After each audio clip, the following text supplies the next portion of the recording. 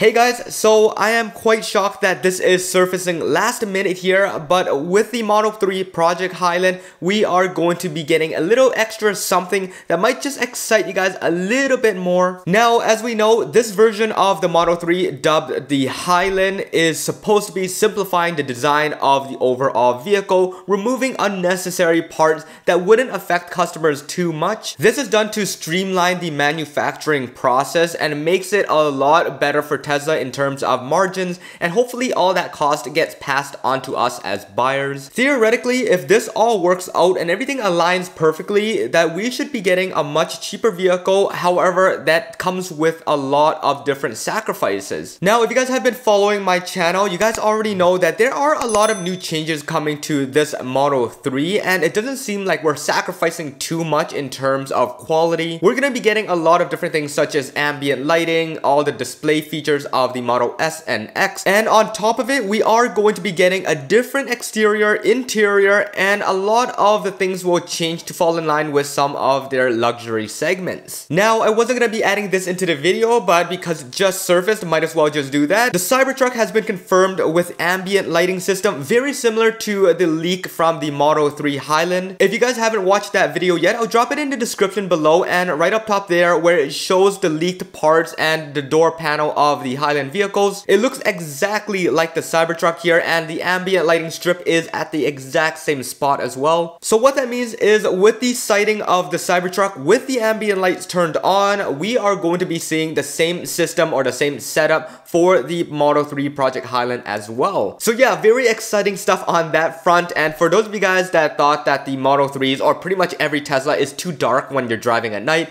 this is going to be the feature that you really are looking for. Alright, so let's get back to the topic here. The title of this video says that we are going to be getting a heads-up display and that is possibly going to happen. An employee at Giga Shanghai has recently seen a prototype of the dashboard design that has a cutout for the heads-up display. Now, although this totally contradicts what we've seen in the last leak, this doesn't mean that it's not going to happen. In the last video that I made about the leaked dashboard, there was no possibility of a heads-up display. There was no cutout whatsoever. So any possibility of it happening with that design is just not there. Now with this recent sighting here, that possibly could still be and it totally makes sense because the yoke is going to be coming to the Model 3 supposedly and if it does there is going to be some kind of visual right in front that it the wheel is going to obstruct. Now this was mentioned by a person on Twitter. You guys probably know who he is. This is Xiaoteshushu and he's been pretty credible with all the inside sources. I've mentioned in a lot of my videos. He personally tweeted out saying that his sources saw the dashboard design with the cutout but other than his words there is nothing that we can really go by. There is no image images, there's no video, there is nothing. But if this does turn out to be true, this is one of those things that a lot of people are going to be making the switch from their old Model 3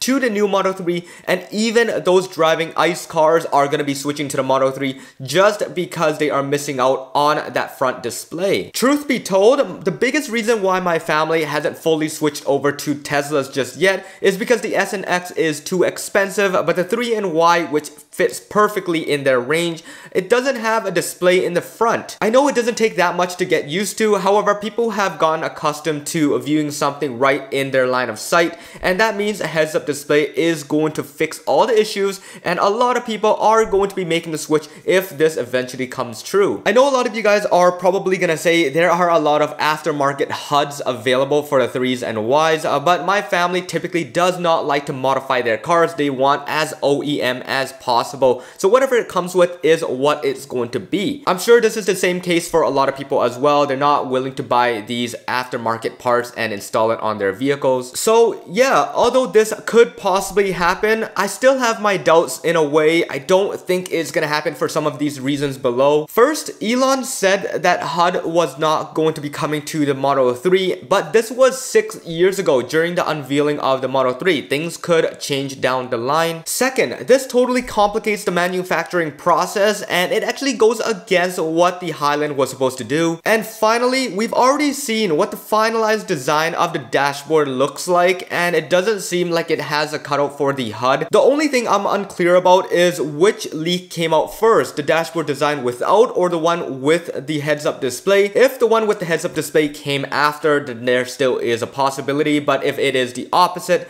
then that means that things have been finalized up to this point. Now, on the flip side of everything, if you guys compare it to any of the EVs in China and a lot of ICE vehicles and even EVs in North America, Tesla is actually falling behind in terms of interior premiumness and features. Literally every car that's available right now, including the newly VinFast, do have a heads-up display included with their front instrument cluster. So that ultimately means that Tesla is pushed to get some premium features in their newer vehicles. This would take away a lot of customers from competitors and bring them back to this performance segment here. So yeah, who knows what this all means. They're all just leaks right now, but if Tesla really wants to stay competitive, competitive, they're going to be needing to add some exclusive features to the Model 3. Anyways, I am still pretty shocked that all this information is coming out so last minute knowing that the Model 3 Highland is going to be announced in the next weeks or so. So I will keep you guys informed as much as possible. Just make sure you guys hit the subscribe button, that bell notification,